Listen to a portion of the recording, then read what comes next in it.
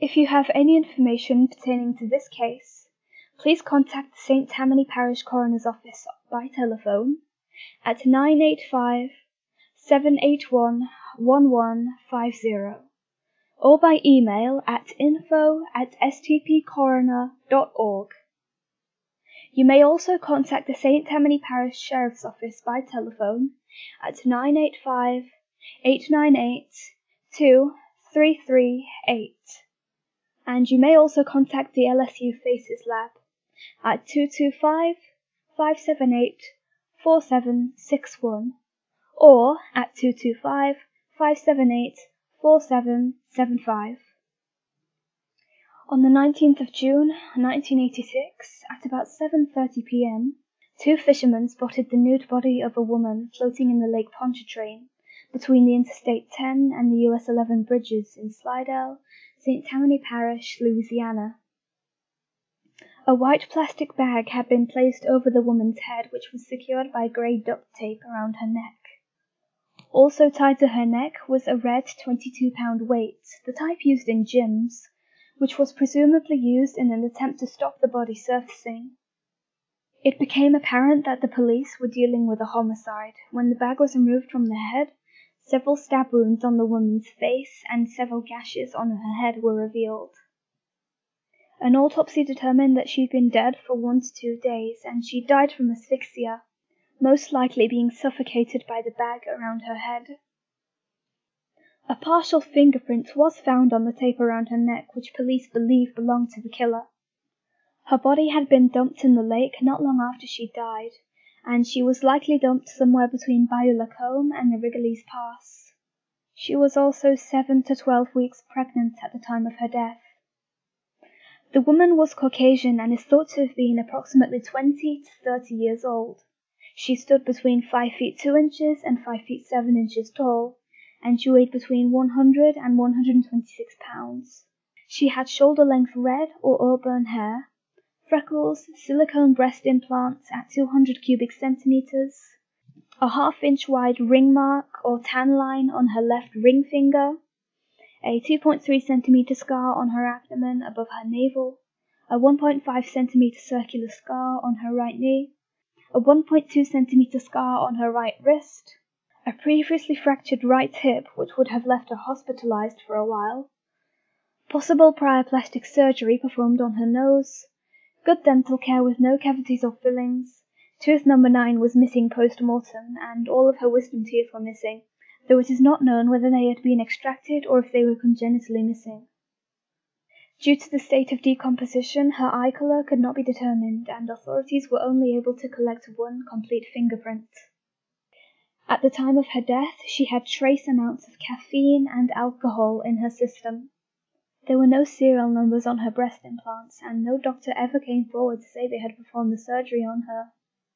Authorities were able to determine, however, that the implants had been manufactured by Cox Uphoff International.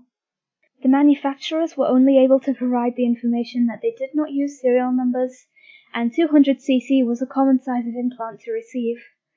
They estimated that 500 to 700 doctors a year ordered the 200 cc size. Ultimately, her implants seemed to lead to a dead end. The unidentified woman was well cared for and likely of a middle class upbringing. When nobody claimed her, the woman was buried without a ceremony in an unmarked pauper's grave in the Greenwood Cemetery in Slidell. In July 2003, police received an NCIC alert about a potential match to the unidentified woman. One Lisa Marie Sexton, a girl who went missing from Ohio in 1981 at the age of 14.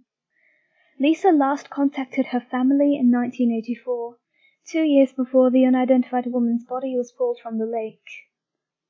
The police thought that this lead was promising, but the problem was that they had no DNA or dentals to compare the unidentified woman to Lisa. The unidentified woman's grave was located and her body was exhumed in September 2003 to try and prove or disprove the potential match. The two women's dentals were compared and they did not match.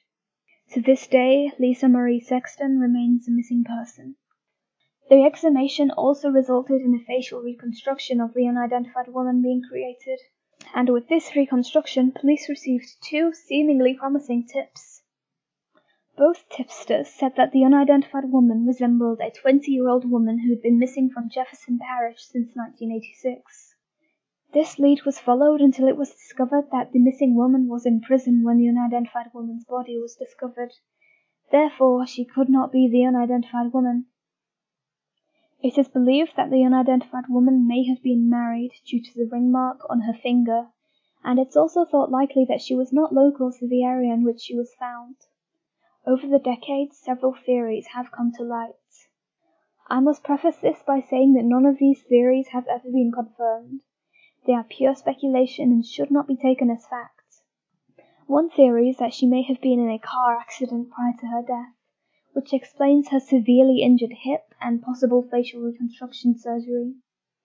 Another prominent theory is that she may have been killed by an abusive husband, since she is thought to have been married. The abusive husband may have isolated her from her family and or friends prior to her death, which could be why she may not have been reported missing. Her pregnancy may have been a motive for her murder. Another theory is that she may have been having an affair, and when her husband found out about her affair, he killed her. She may have been killed when her husband or her lover found out that the fetus she was carrying was not his. Again, this is all speculation and none of these theories have ever been confirmed by law enforcement. Several missing people have been officially ruled out as being this decedent. Please check the description for a list of these rule-outs. If you have any information pertaining to this case that may aid in the identification of this woman and or her killer, the appropriate agencies for you to contact are listed at the beginning of this video.